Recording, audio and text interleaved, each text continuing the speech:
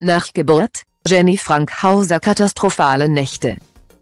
Das hat sich Jenny Frankhauser, 30, wohl anders vorgestellt.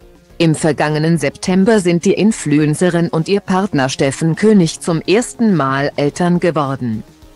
Seitdem gibt die Schwester von Daniela Katzenberger, 36, gerne Einblicke in ihren Alltag als Mama und wirkt dabei total vernarrt in ihren kleinen Damian. Auch wenn sie ihr Familienglück in vollen Zügen genießt, gibt es auch schwierige Momente, Jenny wird von ihrem Sohn nachts ziemlich auf Trab gehalten. Die Tochter von Iris Klein, 55, bekommt aktuell nur wenig Schlaf ab, wovon sie ihren Fans in ihrer Instagram-Story berichtete, ich fühle mich schon richtig krank. So fertig bin ich. Die Nächte sind einfach nach vier Monaten immer noch katastrophal. Aber nicht nur nachts ist der Kleine am Quengeln, denn mittlerweile schreie er auch tagsüber viel. Ich bin langsam wirklich am Ende mit den Nerven. Sage mir jeden Tag, es wird bald besser aber wann?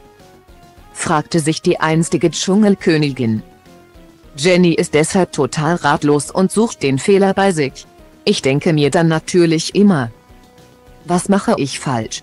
Mir bricht es das Herz, ihn jeden Tag so schreien zu hören teilte die 30-Jährige ihre Sorgen mit, stellte dann aber klar, ich liebe es Mama zu sein und ich würde auch nie mehr tauschen.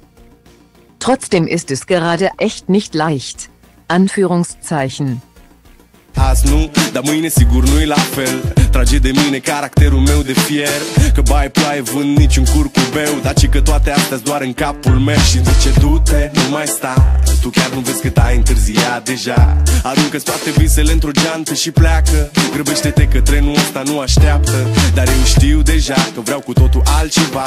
Închide ochii, îți poți imagina că lumea e a ta și în plus. Poți să sari sus, sus, sus